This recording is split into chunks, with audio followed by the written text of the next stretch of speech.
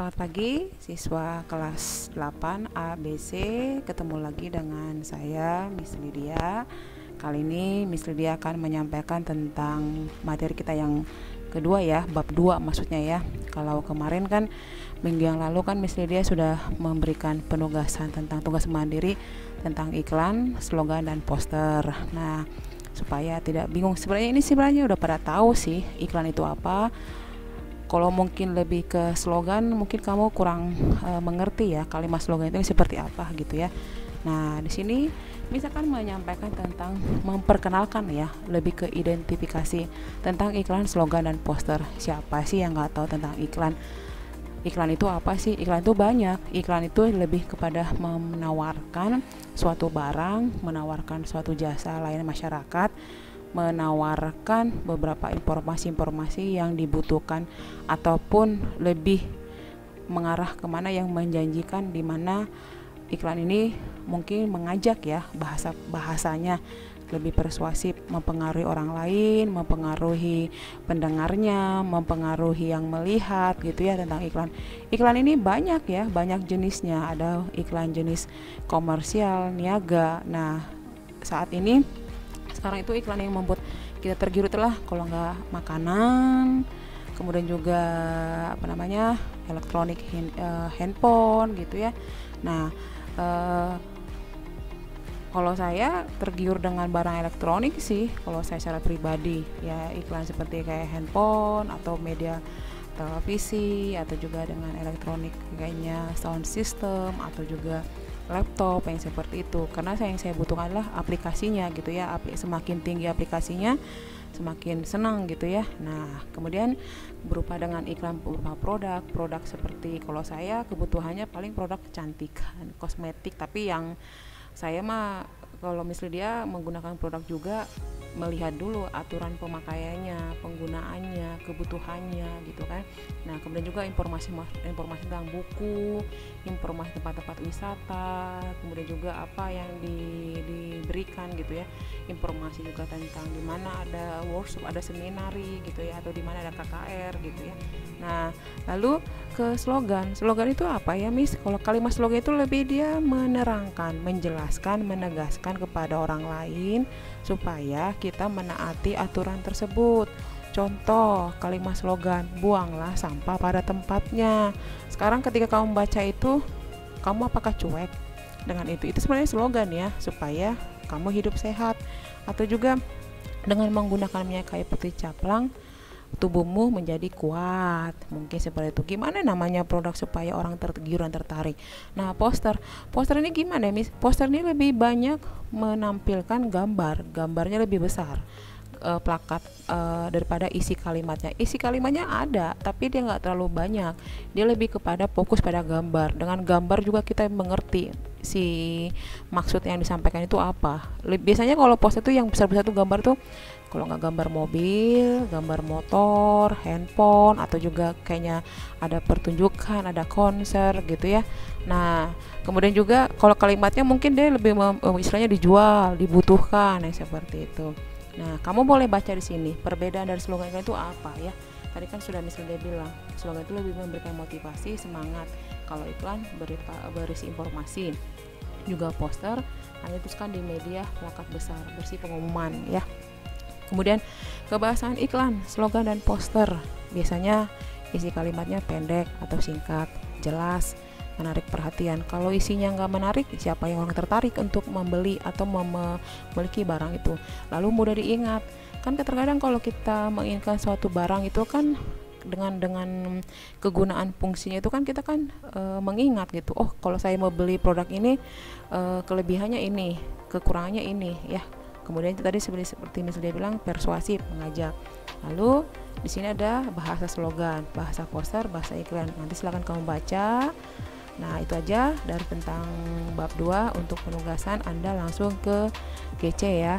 E, terima kasih Tuhan memberkati Ya, selamat pagi kembali untuk kelas 8. Ketemu lagi dengan saya di frekuensi yang sama PJJ online di rumah.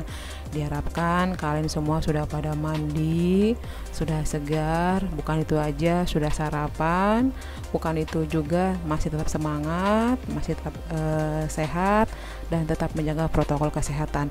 Pada video kali ini jangan fokus pada kostum Miss Lydia ya, tapi kostum padalah PowerPoint ataupun pos, uh, fokus pada PPT yang akan saya sampaikan. Nah, di sini saya akan melanjutkan lagi kembali tentang lanjutan bab 2. Kalau kemarin kan hanya saya hanya lebih kepada poin-poinnya saja.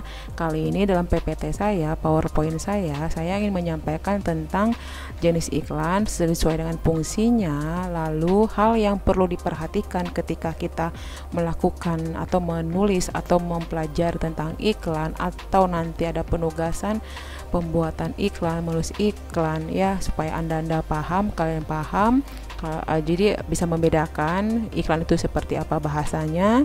Slogan itu lebih bagaimana bahasanya juga poster ya. Nah kita lebih kepada mengidentifikasi informasi serta menyimpulkan isi iklan slogan dan poster. Nah kalau kita lihat di sini nanti anda baca sendiri kalian jangan mengabaikan video ini karena ini penting buat kalian. Ini adalah salah satu bahan materi nanti untuk di PH satu 1.2 1.1 maksudnya sama 1.2 untuk di PH berikutnya. Slogan itu adalah merupakan rangkaian kalimat yang menegaskan. Waktu itu kan misalnya pernah menyampaikan tentang video yang pertama tentang bab 2 apa itu slogan? Kan dia lebih menegaskan. Menegaskan itu gimana Miss? Dia lebih mengarahkan kepada masyarakat kepada orang yang membacanya kepada orang yang melakukannya supaya mentaati aturan supaya mengikuti instruksi ya menegaskan. Contoh ketika kamu menggunakan minyak kayu putih pasti kan kamu hidup e, tubuh kamu menjadi sehat ataupun yang tadi kamu masuk angin e, kan Caplang adalah salah satu minyak, minyak kayu putih terbaik. Itu kan sebenarnya adalah slogan. Sebenarnya salah satu persuasifnya kaum pembuat iklan ya supaya orang teh, "Uh, bagus nih si Caplang nih." Nah, lalu poster. Poster itu rangkaian kalimat yang memberikan nilai jual barang sehingga mempengaruhi kepada masyarakat yang isinya ajakan atau disebut persuasif. Contoh, kalau kita melihat eh, posternya yang besar seperti mobil atau motor dengan wow gitu gambarnya ya. Apalagi yang terbaru sekarang mobil 2020 dengan motor siapa sih yang nggak tergiur? Siapa sih yang nggak tertarik ya? Walau sekalipun udah dijelaskan beberapa aplikasinya tetapi kembali lagi sesuaikan dengan kantong masing-masing ya. Jangan terlalu dipaksakan gitu. Jadi di mana oh, si pembuat poster ini si pem, pemilik barang ini membuat poster sedemikian bagus supaya masyarakatnya orang yang memperhatikan orang yang melihat tergiur dan tertarik.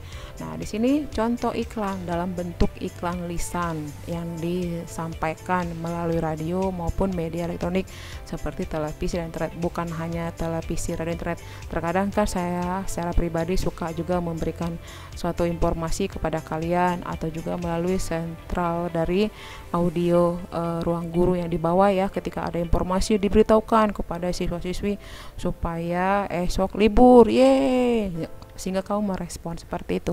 Nah, lalu di sini ada hal yang terpenting yang harus diperhatikan dalam menyusun, membuat paragraf persuasif. Jangan bertanya lagi, persuasif itu apa, Miss? Kan sudah dikatakan bahasa iklan itulah bahasa persuasif, bahasa yang mempengaruhi, bahasa yang mengajak, bahasa yang membuat orang lain e, tertarik dengan isi kalimat atau isi eh, kata-kata dalam paragraf tersebut. Lalu menggunakan bahasa yang mengajak serta komunikatif, tetap semangat dan ramai, berusaha untuk mengunggulkan pendapat kita dibandingkan yang lain dan se seterusnya. Saya mengambil mengutip ini ada contoh iklan tulisan terdapat di media kabar, kabar media cetak, majalah maupun internet. Kalau ini buat kalian tidak jelas, silakan anda nanti search di internet ya. Uh, ini tentang apa ya gitu. Dari dari gambarannya ini kan sudah jelas. Inilah berupa sabun, uh, produk sabun yang di mana Nupo itu kalau menggunakan Nupo itu Nah, ini ada ini, ada coba Anda temukan di mana di sini e, kalimat slogannya ya. Nanti Anda temukan yang mana ini kalimat iklannya, yang mana ini kalimat posternya. Oke. lalu ada contoh iklan kolom biasanya iklan ini yang pemasangan dalam media cetak dalam berupa kolom ya jadi uh, si gambarnya paling atas tampilkan lalu di bawahnya adalah berupa apa aja yang informasi yang dibutuhkan lalu ini pem, uh, di alamatnya di mana nomor teleponnya di mana kemudian uh, ada contoh iklan display. Contoh iklan display itu yang bagaimana, Miss? Biasanya ini adalah berupa gambar-gambar yang uh, ditampilkan ya. Kalau kita lihat kan ini kan mobilnya ini kan ada banyak jenis ya. Jadi orang kan membutuhkan mobil terkadang bukan satu mobil yang ditampilkan ah cuman satu pilihan. Nah dia menunjukkan uh, beberapa macam-macam jenis mobil. Bukan hanya mobil motor makanan atau juga produk-produk barang seperti itu. Terkadang ini sering kita lihat kalau di, di apa iklan display ini kalau biasanya Alfamart ya atau Indomart ya kalau kita selalu menerima selebaran itu kan banyak kan itu uh, iklan yang disampaikannya lalu ada iklan pengumuman. Biasanya iklan pengumuman itu memberitahukan atau pemberitahuan iklan pengumuman telah dicari telah dibutuhkan uh, sebuah media elektronik. Hubungin saya pemberitahuan telah meninggal atau telah kehilangan suatu barang atau uh, suatu uh, SIM atau dompet seperti itu ya. Lalu iklan masyarakat. Dari sini kita sudah melihat iklan itu masyarakat itu yang bagaimana yang menjelaskan informasi. Ketika saat ini kan wabah COVID-19 nih. Di sini kan dikatakan bijaklah memilih makanan. Berarti kita juga harus bijak memilih makanan, jangan sembarangan.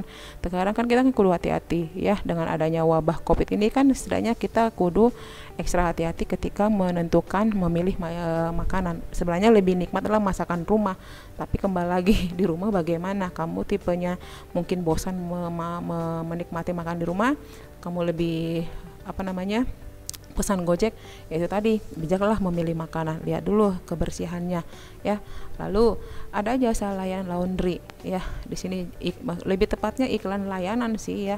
Iklan layanan itu mah banyak bukan hanya laundry aja. Kemudian juga ketika anda di rumah itu lagi butuh perbaikan AC butuh perbaikan mesin cuci butuh perbaikan mungkin e, berupa dengan pompa air kan kamu di situ kan ada pasti kamu kan mencari e, jasa layanannya di mana nih? Harus di, di harus dicari gitu. Lalu di bawahnya saya juga adalah menawarkan tentang produk seperti non komersial itu berupa handphone. Wah, Galaxy. Wih, keren ya.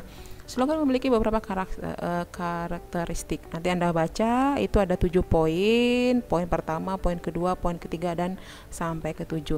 Lalu saya di sini mengambil contoh kalimat slogan kesehatan. Di sini kan di sini say no to drugs. Anda itu sudah paham, kan itu sudah paham say no to drugs itu gimana ya Miss? Gitu kan. Berarti apa yang dilakukan untuk mencegahnya mencegah itu lebih baik daripada mengobati dan seterusnya.